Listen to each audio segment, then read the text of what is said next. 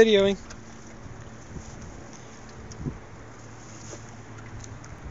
Awesome. They're everywhere, man. Look at all the skates or uh, stingrays. It's a good thing we got our lines out of the water. These guys would have taken that dead bait easily.